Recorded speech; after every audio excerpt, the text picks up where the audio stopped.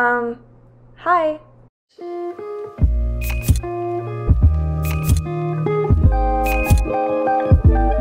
All right, hello guys. We are on iPhone cam today because I just decided about 30 seconds ago that I'm gonna vlog. If you were here a couple of videos ago on my channel, you might remember that I spent a very long time decluttering this bookshelf. I went through every single book I had and just, okay, my cat, really?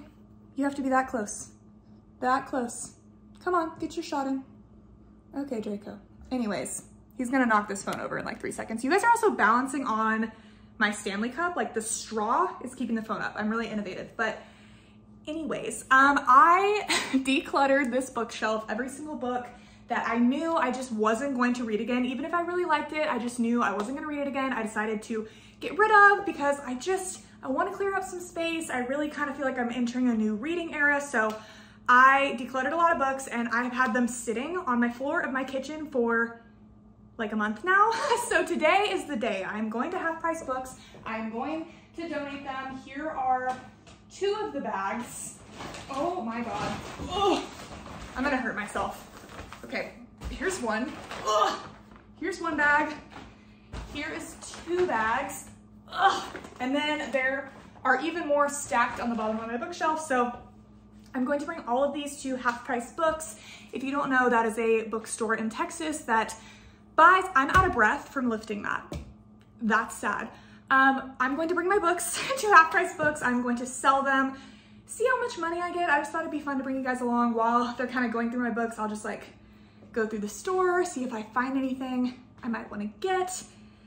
I'm trying to not buy a lot of books right now because I have so many books I have not read yet that are on my TBR on my shelf, but there are a couple that I have in mind that I do want to look for. So we're to see if we can find them there. But yeah, I think this will just be a short, fun little vlog. I thought I'd bring you guys along. A few of you asked to see me go and sell them. So that is what we're doing. Let's go. Okay, friends, we have arrived. It is a beautiful day outside, and by beautiful, I mean it is foggy and gloomy, but it's 70 degrees and it's perfect. But still, do we mind? Mind? Um, I started sweating so bad bringing all these books to my car. I brought my little cart from my apartment, but still, um, I was having to pull my cart like up my parking garage and the books kept like trying to topple over in the bags that I had them in and it was embarrassing. I was trying to like maneuver my cart and this person had to park in this reserve spot that I was trying to struggle bust through. It was a whole thing. But we're here and now I'm gonna sweat some more trying to put them in the cart. Should I attempt to film this? We might. I don't know what's happening. There's the little sign. I have to park by the ramp because you think I'm gonna pull these uh, bags up the stairs. It's not happening. Um, this is the flagship location. There's so much happening right now. It's so loud. Um, this is the flagship location for Half Price Books. It's in Dallas and it's massive, like ridiculously huge. They're normally just tiny little places in strip malls. Um, have my books back here with my Diet Dr. Pepper, of course. But um, yeah, we're gonna attempt this. Wish me luck. What a beautiful angle. One, okay. And two. Guys, I'm so embarrassed right now to be walking into this place with my giant cart. Like, I've put off doing this for weeks because I just didn't want to be that person bringing a whole ass cart into here to sell my books. I mean, just, just look at this. Don't mind me and my 700 books. They're also in such good condition. Here we go. This place is so huge. Honestly, my happy place, I'm gonna be in here for a few hours. Most likely, because I always am. But um, I have no idea how many books I even have. It's like a couple hundred, I feel like for sure. So we'll see what we can get. Watch, I walk in and they're like, we're not buying any more books today. I've never had that happen, but uh, you never know.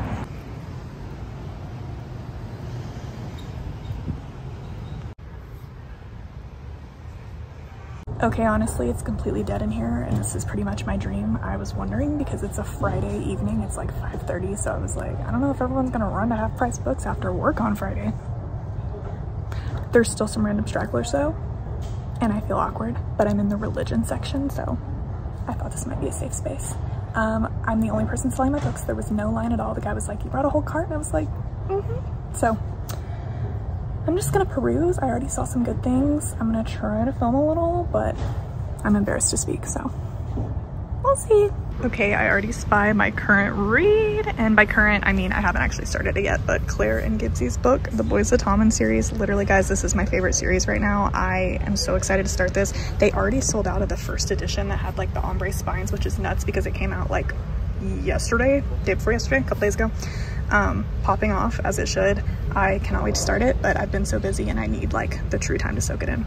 Okay, I still have not read Bride by Ali Hazelwood yet. I feel like I have such mixed feelings on it just from like the reviews I've heard. It seems like it's really good. Like some people love it, but then other people are making it seem like it's just very weird. I keep hearing about something called the nodding and I don't really know what that means, but obviously I'm here for the vampire and the werewolf of it all, so I might have to get that with my money. We will see.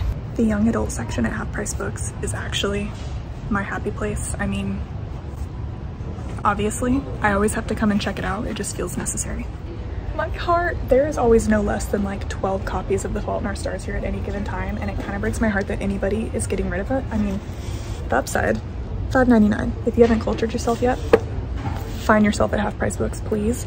Um, I guess the more popular the book, the more people that have it, the more people that are going to eventually declutter it, but um, this book will forever be my favorite. Like, I just don't see anything topping it. Do I need this? This special edition. It's silver. I already have a hardback. I have a paperback. What is, oh, this is just the hardback without.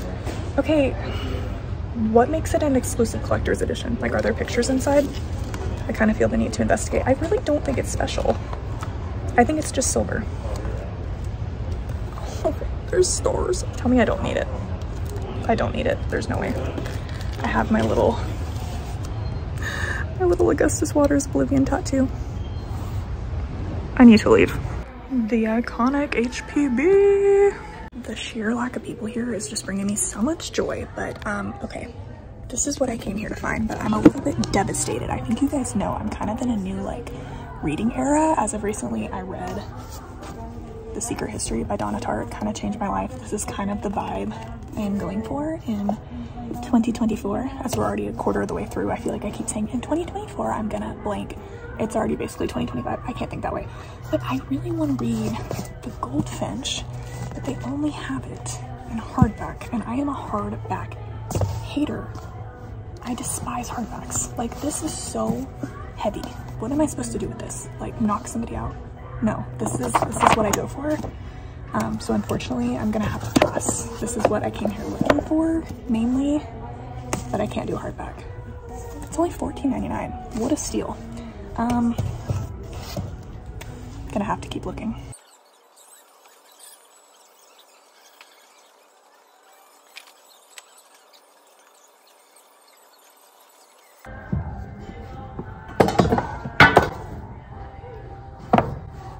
Just trying to take a thumbnail. I don't know what you want me to tell you. it's hard out here. I always, whenever I, I promise I'm gonna clean up whenever I film videos like this. I always forget to take a thumbnail and then I get home and then I'm trying to like screenshot some blurry part of the video and we're not gonna do that. Grab some random books behind the scenes. Okay, quick smile.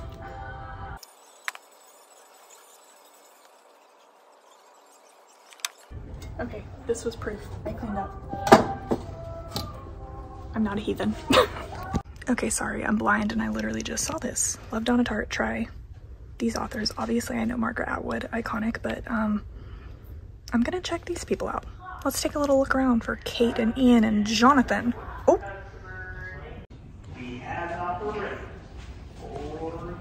That would be me. Okay, me and the cart have been reunited, but guys, I am shook right now. I got $128. So I guess I'm rich. I guess I'm gonna treat myself. I'm shook by that. I probably had 150 books, but still, I mean, they don't give you much. They give you, I feel like a dollar, a little bit more than a dollar a book, but I've gotten like $40 here before. That was definitely the biggest haul I've ever brought, but see, I should take it and run, but I'm probably gonna be a little silly. Cause now girl math, like I made money. I made money. So I'm gonna keep looking around, but now I have to, have to haul this baby with me, so. Guys, I feel like I'm on a damn scavenger hunt now because I came looking for Sylvia Plath because I want to read The Bell Jar, obviously. That's going to be in the same genre that I'm looking at this year. Love Sylvia Plath. Try these authors. What about Sylvia Plath? She's nowhere to be found. Also, me leaving my receipt for $128 right there. How about we don't do that, Nikki? That is the ADHD coming out. Let me just put that in my cart. How is there not a single copy of a single Sylvia Plath book here? It might be hiding. I'm so confused, but while we're over here in the peas, did we know that Snicky, Snicky, Snooki? Can I speak? Did we know Snooki wrote a book? a sure thing. What, what does Snooki have to say? I mean, an icon, a legend, but, oh. I, why does this seem fictional? While Snooki and her cousin are gonna have the sexiest summer ever, blah, blah, blah, Bella's ready for some fun. Who is Bella? I think this is fictional. What is going on? Do I cop though? 9.99. I don't know.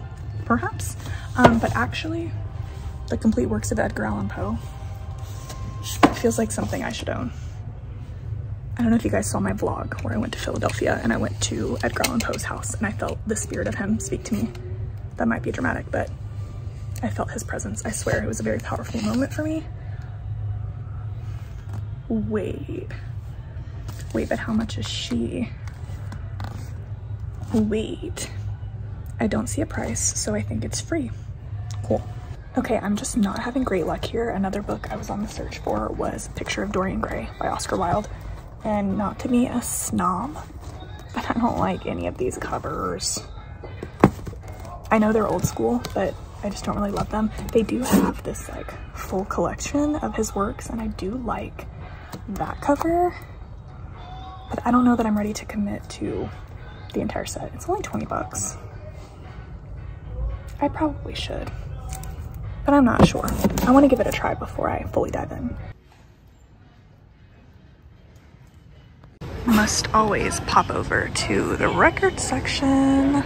Okay, we finally have the paperback of Happy Place by Emily Henry and it is gorgeous, but dude, the way her books now only come in hardback, I just stated I was a hardback hater, but I bought the um, Kindle version whenever it first came out and I read it and it was good, but I just don't, I don't feel like I needed enough to buy it, but it is so pretty. Okay, if you are looking to get into thrillers, this one is so good. I actually love every thriller by Geneva Rose. She has a new one coming out pretty soon here that I am so excited to get, but this one's like about an Airbnb sort of situation so good, very suspenseful. But speaking of thrillers, we've got a lot of Freida McFadden over here. And I did a video a few months ago where I read like five of her thrillers back to back and you guys really liked it. I need to go back to her because her books are winners. Like I haven't read one that I haven't liked yet. They're just super fast paced. Guys, I just do not think it is my day here. I was hoping to find the new cover of The Deal because I might have decluttered all of my off-campus series books I enjoyed them. They were a good time. The Deal, obsessed. Will Never Not Love. I want to keep that one. I want to reread it, but I want the new cover because I prefer these. But they only have the goal and the legacy. So I guess we will wait on that. Guys, I don't know if I'm gonna buy anything. I did find one book that I might get, but it might just not be my day. I might just have to take my money and run, but I am having a good time. So that's all that matters. Okay, more people are showing up, so I think that means it's time for me to leave. This was the book I was going to get because obviously, look at it, I have not heard of it. It's called Weyward by Emilia Hart. I don't know, I opened it and I started to read it. Look, the chapter headers have little like bugs on them, like dragonflies, and it's about like witches, and it's about three different witches and three different time periods, and I guess their stories kind of weave together. Okay, this has like, I'm sorry, like it's up my alley, but I started to read the first chapter and it's all in third person. And I just don't know that I vibe with that these days. It's just a preference thing. I don't know, I just don't think I'm feeling it. And I don't want to force myself to get something that I don't really want. So what I think I am gonna get, I saw um, A Thousand Boy Kisses by Tillie Cole over there. It has been traditionally published since I bought it and I adore that book but this cover that I have it is like the book is so tall and it's like a shiny cover and it's constantly like it's like warped and it drives me crazy. So I think I'm gonna get that because it's like a matte cover now and it's a little bit shorter. Um, so I think I'm gonna buy that but I think I'm gonna save my money and I think I'm just gonna order the books I really want online. Like I'm gonna get the Goldfinch and maybe the Bell Jar so. Okay here she is in all of her glory. This might be the death of me. The non-removable sticker. I don't know why they do that, but we will take it. Um, I have seen people absolutely rave about this book, but I just read the back and it seems very kind of fantasy and I just don't think that's my era right now. Um, if you guys love it, let me know, but I think we are going to exit. Okay guys, I think we had a successful mission. I got my little book, got my little wad of cash. Um, seriously, if you haven't read A Thousand Boy Kisses, I can count the amount of books that have made me cry on less than two hands. And this book made me cry maybe the most of any of them. I think mm, I think The Fault in Our Stars still probably takes the cake, but this was a very close second, if not equal. Like I was crying on like chapter two, I think. I was crying a third of the way through, half the way through, the entire last half it destroyed me, but in the best possible way. It's just one of those books that you just, you just need in your life. So anyways, guys, this was a fun little adventure. It is very stormy and gloomy looking outside. Like, see how gray it is? My kind of Friday night, personally. I just have a lot going on right now, guys. Um, if you care about my life, I am just in the craziest season for my job right now. I work in events and my biggest event of the year is in a week and a half from now. So I am just working like crazy. I just needed this Friday night to just go and uh, do this and get out of the house a little bit because I have not left my house like literally this whole week. I have just been working so late and it's been so nuts, but I'm gonna go home tonight, recharge a little, um, read a little, write a lot. I feel so, God, when work is crazy, it's really hard to like be super consistent on writing, but I really try to make it a point to do it because like writing keeps me sane. Um, if you guys don't know, I also write books. I have my own books. I have three out currently. You can find them all linked in the description of this video. I feel like I never just like plug my books. I, I mean, I put a little clip at the beginning always saying like, read my books, but I never really talk about it on here unless like I'm specifically doing that in a video, a Q&A or something. So yeah, if you're interested in reading my books, I have a little hockey romance, I have an 80s enemies to lovers fake dating romance, and I have a childhood friends to strangers to lovers story as well. So yeah, I am writing actually the second book in my hockey duet right now. So that's been a very fun little adventure. So gonna go work on that tonight and then I'm just gonna be working like crazy for the next week and a half, but um, we're gonna make it through gonna be fine. Thanks for coming along with me on this weird random little vlog. Hope you guys enjoyed it. And um, yeah, I will talk to you later. Bye.